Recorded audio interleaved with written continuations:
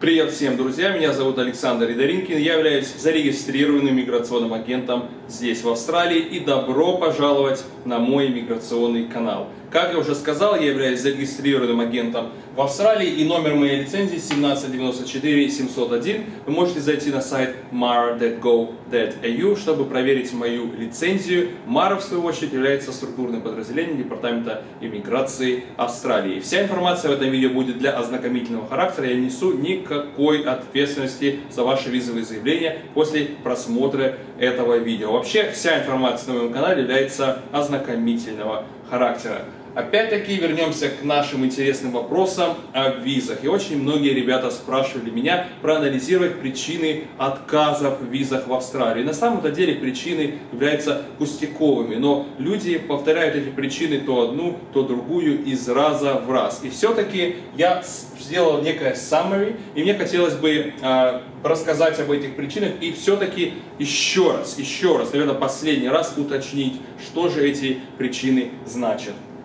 Если вы посмотрите это видео, то вы поймете о причинах отказов, о самых распространенных причинах отказов и, возможно, не допустите таких ошибок и получите свою так долгожданную визу в Австралию. Итак, начнем с причины номер один, это GTE Criteria. Как я уже говорил, эта критерия в основном применяется к студенческим визам, потому что офицер не верит, что вы являетесь студентом и вернетесь назад. То есть вы должны убедить офицера в том, что вы хотите вернуться обратно в страну, из которой вы подаетесь. И вы едете в Австралию с целью получения образования, а не с целью иммиграции, не используете студенческую визу в своих иммиграционных целях. Также эта критерия э, может рассматриваться в туристических визах, то есть visitor виза. Человек должен убедиться, что вы хотите приехать в Австралию только temporary, на какое-то время, и вы потом уедете обратно. То есть, пожалуйста, ребята, обратите внимание на GTE criteria, это очень важно, в особенности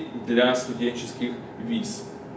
Идем дальше, как я уже говорил в своих некоторых видео, Visa History. Неважно, какую визу вы подаетесь, наверное, кроме иммиграционной, вы должны иметь визу History. То есть Visa History это очень важно, если вы приезжаете в Австралию на временную визу. Офицер должен убедиться, что вы были где-то в, мир, в странах мира, то есть вы путешествовали не только в Египет, в Таиланд, куда-то еще, вы должны путешествовать в Европу, вы должны путешествовать, возможно, на Мальту, Японию, вы должны путешествовать в развитые страны, в Швейцарию и не оставаться там, не становиться беженцем, не кидаться под э, рельсы поезда. То есть вы должны иметь виза history, и тем самым вы показываете департаменту иммиграции, что вы приезжаете в Австралию просто потому, что вы хотите посетить Австралию, и поэтому вам, скорее всего, отказ не поставят. Если у вас нет Visa History, если у вас чистый паспорт, то, скорее всего, у вас будет отказ. Опять-таки, это мое мнение. Ну, зависит все, конечно же, от обстоятельств. Зависит от того, сколько вам лет. Если вы, к примеру, школьник, едете в Австралию, у вас пустой паспорт, вам 16 лет, вы хотите изучить английский язык в летнем лагере, э, в какой-нибудь школе, хороший Каплан или English First, то, скорее всего, вам визу дадут. Если вам, к примеру, 25 лет, вы закончили университет, подаетесь на туристическую визу в Австралию, и у вас пустой паспорт, я бы подумал, дадут вам визу или нет. Опять-таки, все случаи, они уникальны. Если вам нужна какая-либо консультация по получению любой визы в Австралию, обращайтесь, пожалуйста, ко мне, так как я являюсь зарегистрированным миграционным агентом. Идем дальше. Третье – это предыдущие отказы. На самом деле это очень важно, то есть некоторые люди, опять-таки зависит от ситуации, но некоторые люди подаются на визу в Австралию, да, на студенческую, к примеру, или на туристическую, виза, виза visitor, и после этого получают отказы, и подаются еще раз, получают отказы, подаются еще раз, получают отказы. То есть с каждой подачи получается факт того, что вы получите визу, все угасает и угасает и угасает. Просто такие, как свеча. Вам нужно что-то думать, а почему получаете отказы, проанализировать свою ситуацию. Опять-таки обращайтесь ко мне, если у вас какие-то есть а, проблемы с этим. Однако же, если у вас были отказы на какие-то временные визы, вы встретили, к примеру, свою любовь и подаетесь в Австралию на партнерскую визу, скорее всего, вам дадут визу, так как у вас, если у вас, вы докажете, что у вас отношения настоящие. Идем дальше. Четвертое – это roots in a home country.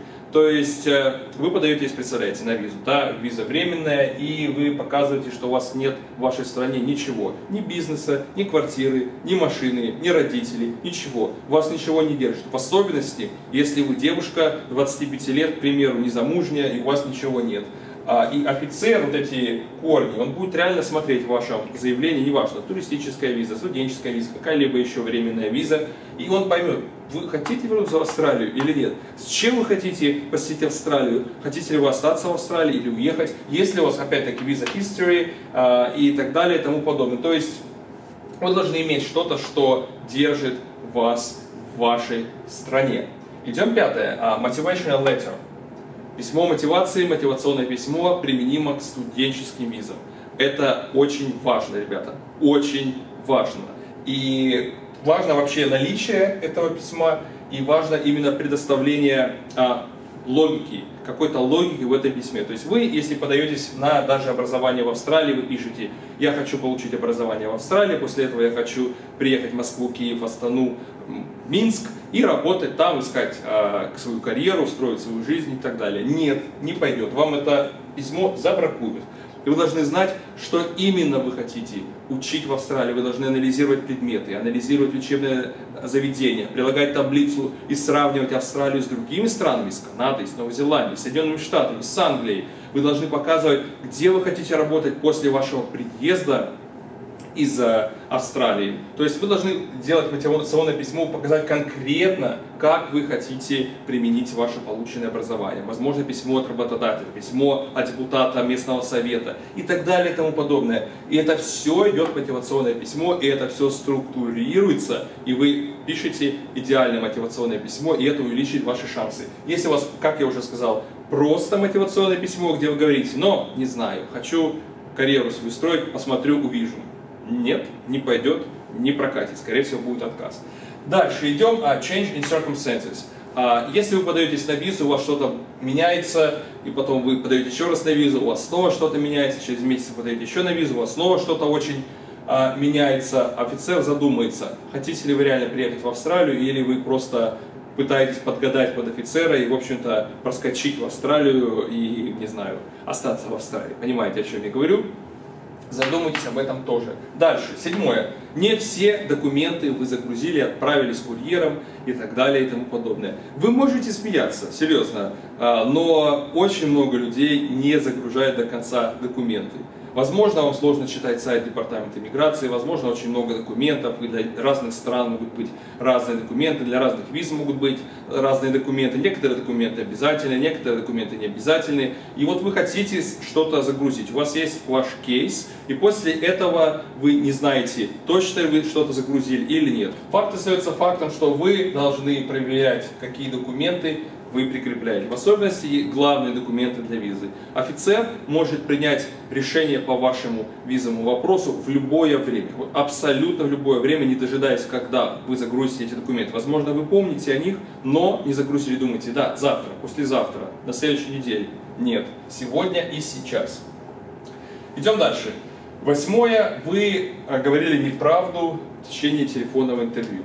Это на самом деле очень интересный вопрос, потому что офицеры, когда вам набирают на телефон, иногда это случается и для виз-визитера, и для студенческих виз, и для партнерских виз, всякое бывает, а вы можете врать. Вы просто говорить неправду, нервничать, тараторить, что-то переспрашивать, э, слушаться каких-то волнений в голосе. Офицер это на самом деле все слышит и видит и чувствует. Потому что офицеры натренированы специально, чтобы это все распознавать. Поверьте, среди них были, ну, наверное, а, тысячи тысячи тысячи кейсов, тысячи таких, как вы, просто, может быть, десятки тысяч. Офицеры посольства и в Москве, и в Лондоне, и так далее, и тому подобное. Представляете, вы говорите неправду, реально неправду. Ребят, говорите правду, тогда вы точно избежите отказа в вашей визе в Австралию. Девятое. Очень важно, по-моему, я уже упоминал в своих видео, но давайте здесь все это систематизируем. Ваши социальные сети.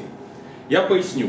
Представьте, что вы хотите приехать в Австралию на учебу но одновременно вы мечтаете об Австралии, хотите мигрировать в Австралию, и ваш Facebook, ваша ВКонтакте, Инстаграм и, так далее просто кишит информацией об Австралии. Вы пишете каждый день посты об Австралии, говорите, что хотите приехать в Австралию, мечтаете об Австралии, люблю Австралию, читаю австралийские книги, Австралия, Австралия, Австралия, Австралия. И человек спросит, вот этот студент подается на 500 визу, так он же хочет в Австралию. Не давать может быть 600 виза, он хочет просто посетить Австралию. Так почему же так он мечтает об, об Австралии? Не давать. Понимаете, о чем я? Поэтому просто думайте, что вы пишете в ваших социальных сетях. Все это проверяется, большая дата проверяется, и не попадитесь на эту ловушку. Не значит, что вы должны там чему-то врать, но просто думайте, что вы пишете, и с вами все будет отлично. И последнее, десятое, вы подаетесь и с другой стороны. Опять-таки, много ситуаций, много различных решений, много различных отказов или получения виз. Но если вы подаетесь из какой-то третьей страны, находясь на непонятном статусе там, в Австралию, то, скорее всего, вы тоже можете получить отказ, если вы не предоставили достаточных доказательств для получения этой визы. То есть э, вы не предоставили выписки, деньги с банка, показать, что у вас что-то есть и так далее. Смотрите мои другие видео, я как раз там об этом все рассказываю, что же нужно показать из доказательств. То есть, если вы подаетесь из третьей страны, есть вероятность, есть не всегда, но есть, что вы получите отказ, смотря опять же из какой страны. Если вам понравилось это видео, не жалейте классы лайки, подписывайтесь на мой канал, здесь будет очень много интересного об Австралии, об эмиграции в Австралию, потому что я все делаю для вас, друзья. Также проверяйте мой номер MAR на сайте mar.go.au и заходите на мой сайт whymigration.com. Не забывайте добавляться друзья ВКонтакте и в Фейсбуке. Также вступайте на мою группу ВКонтакте. Вообще все ссылки находятся вот здесь, в описании к этому видео. Я надеюсь, что это видео было вам полезно, и вы не совершите эти ошибки и получите свою так желанную, так желанную визу в Австралию. Пока, ребята, спасибо за просмотр.